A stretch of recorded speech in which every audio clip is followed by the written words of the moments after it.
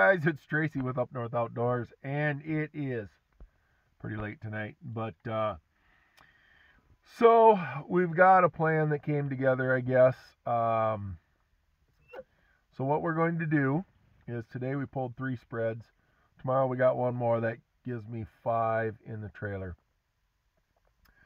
So Wednesday, uh, six of us are going up to Iowa and starting to set spreads. Uh, they got some more snow in Iowa today. Not sure how much. Uh, one of my guides in Council Bluffs said they got seven inches, but they're farther north than what we are. So, uh, not sure what that, you know, what that's going to look like. So we're going to run hunts here in Arkansas through the 28th. We're running four fields down here uh, over the weekend. Not that many during the week. This was our move week, so we didn't have anybody scheduled, and you know, guys couldn't move around. So got a got a couple going uh, on some days this week, but uh, weather down here looks amazing. Today was a beautiful day.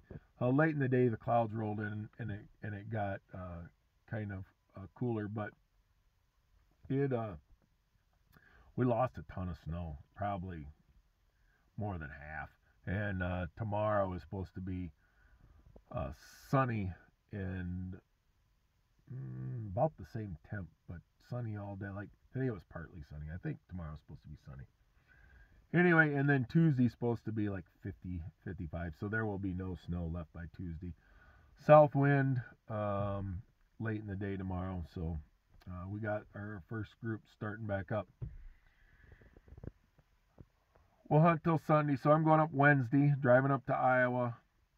Uh, Wednesday, we'll start setting Thursday, Friday, Saturday. By that time, I hope we have have it all done. Um, there'll be six of us. We got five spreads to set up there.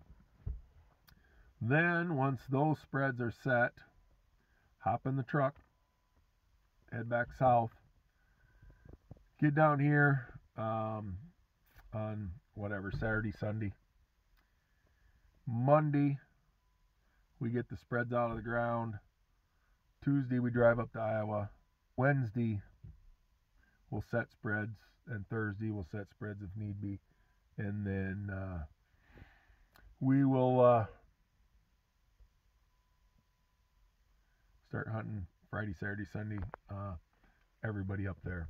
So you guys that are hunting March 1st through 4th, it is, uh, you know, if you if you if you want to move later, we have dates from the 15th through the 21st. Um, uh, we have some the 5th, 6th, and 7th too. Come to think about it, so this weather's uh, we've been all over the place on things, uh, just trying to get it to work out. Uh, this first through fourth move time frame has worked out the best that we can see it.